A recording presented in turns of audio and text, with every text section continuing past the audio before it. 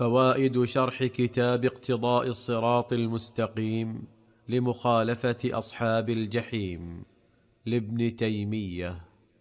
صلى الله إليكم قال رحمه الله ولهذا كان الصحيح أن حرمة القتال في البلد الحرام باقية كما دلت عليه النصوص الصحيحة بخلاف الشهر الحرام. نعم مما يدل على أن على أن حرمة المكان أشد من حرمة الزمان أن القتال في الحرم محرم ومستمر إلى أن تقوم الساعة. قال تعالى ولا تقاتلوهم عند المسجد الحرام حتى يقاتلوكم فيه. فإن قاتلوكم فاقتلوهم. كذلك جزاء الكافرين.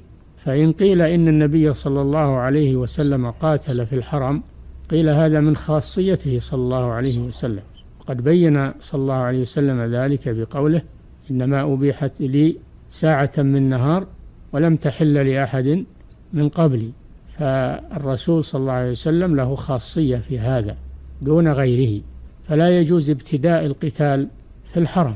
أما قتال الدفع لمن قاتل فإنه يقاتل ولو كان في الحرم ولو كان عند الكعبة دفعا لشره فهذا هو التفصيل في القتال في الحرم. وأما القتال في الأشهر الحرم فالصحيح أنه منسوخ الصحيح أنه منسوخ وأنه يجوز القتال في أي وقت توفرت شروطه لقوله تعالى آه لقوله تعالى آه فإذا انسلخ الأشهر الحرم فاقتلوا المشركين.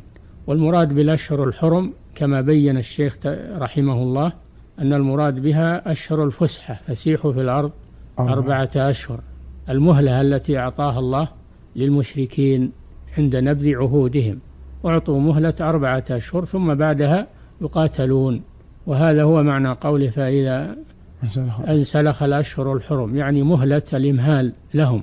فاقتلوا المشركين حيث وجدتموهم وخذوهم واحصروهم واقعدوا لهم كل مرصد.